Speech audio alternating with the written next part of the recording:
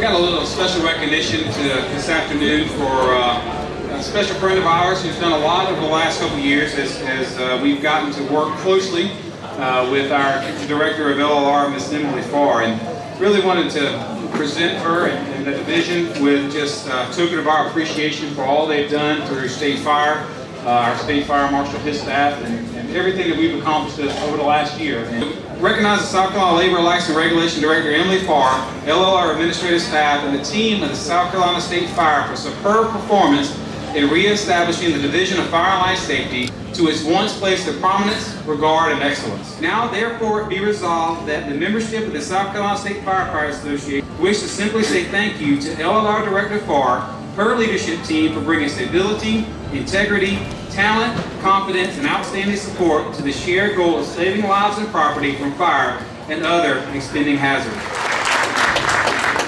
Thank you so much, Kyle. Um, I think that resolution pretty much sums it up. You know, I I was thinking back about the fact that uh, the legislative day this time last year was actually, I think about a month earlier. It was a good bit warmer and I think even sunnier.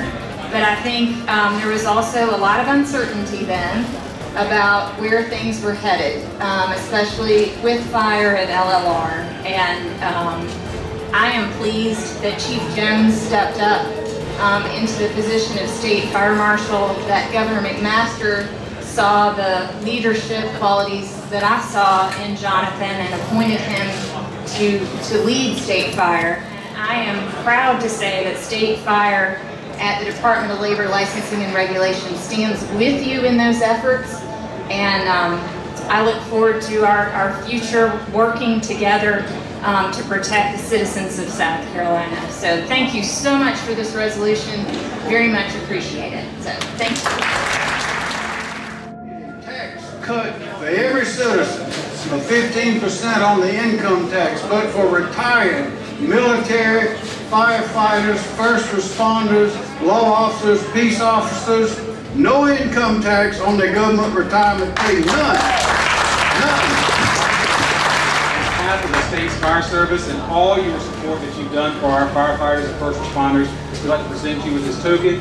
I don't know if you're Chief McMaster or Chief Governor McMaster, but thank you for all you've done for us.